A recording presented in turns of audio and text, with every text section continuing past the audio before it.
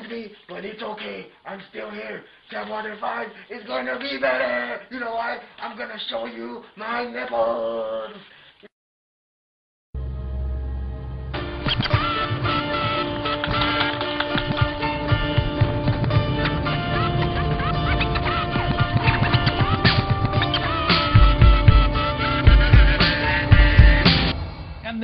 These stories have been coming out that they worship some 45 foot stone owl god. And then I began to uh, read some of the documentation on this Moloch character of the Old Testament, mentioned many times in Leviticus. That's in the Bible. Why are world leaders traveling to the middle of nowhere to worship this thing? Well, I had to check it out for myself. And I'm proud of my team. You try to stop me. Tony and Callie. Where your mask at, Tony? Blow some smoke through that mask.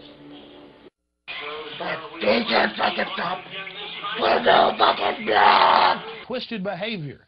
Could it be that when you have all the power and all the women and all the money and all the lands and all the art, you have to do something new? You have to go against the basic grain of humanity. You have to get off in a sick way. The way of the samurai is found in death. Meditation on inevitable death should be performed daily.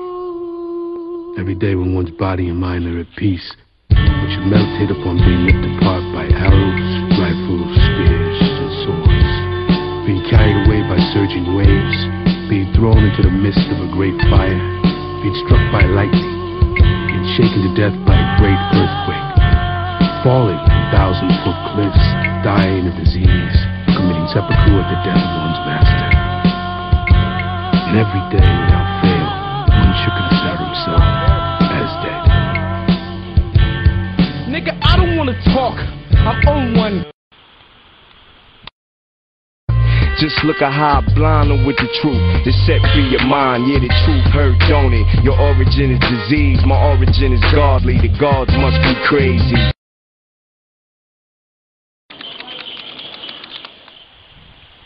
Magnificent. America's private run for profit Federal Reserve Bank, from its very inception in 1913, has been run by prominent members of the Bohemian Club. You will never defeat Pueblo Plug.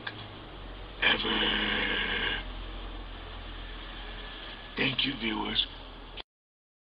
Pueblo Plug of the YouTube family. Tony and Callie. Your at, Tony? As global warmings launch new environmental concerns, fluoride in tap water once again rears its ugly head. So why all the controversy if it's good for the teeth? Turns out the stuff in common tap water happens to be a sister compound to sodium fluoroacetate, a common form of rat poison. According to studies by the Case Institute, the byproduct of phosphate mining, in which they make fertilizer and laundry detergent, is liquid fluoride. So toxic it costs seven grand a barrel to bury. Now, in bed with the government, companies can avoid expensive burial costs by diluting fluoride in city water supplies, saying that fluoride has huge dental benefits. Well, indeed, minute doses directly applied to a tooth may help that bothersome cavity. But in reality, tap water goes directly down the throat and through the body's major organs. Liver and kidneys then receive, ready for this? Lead, cadmium, phosphorus, selenium, mercury, silver, chromium, arsenic, and uranium-238, radioactive, by the way. One unfortunate side effect of fluoride in the bloodstream is that within 50 to 90 minutes, human skin begins to absorb toxins from the air, along with some household cleaning compounds when touched. Ironically, in the shower, skin probably absorbs more fluoride than drinking tap water alone. Is the fluoride problem a new phenomenon? No. By World War II, farms, cattle, plants, and fish were dying from the toxic byproduct of common aluminum production, sodium fluoride. But here in Los Angeles, the city of Santa Monica has already taken fluoride out of their drinking water, and city after city in the Northeast are following suit. Canadian research now shows fluoride can cause cancer when consumed in tap water over the course of years. So how does big business get away with dumping this toxic glunk into our city water? Turns out the federal government subsidizes it by giving block grants of up to a hundred grand for cities to start adding fluoride to their tap water. An EPA source told me the chemical companies joke the solution to pollution is dilution. Better to poison a lot of people a little than a few people a lot. Then it'd be really obvious. Looks like Brita filters and plenty of bottled water, at least for me.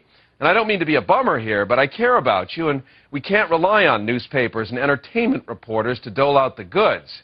You do have a choice if you want this stuff in your water. You can call your mayor. After all, we all have a right to be safe.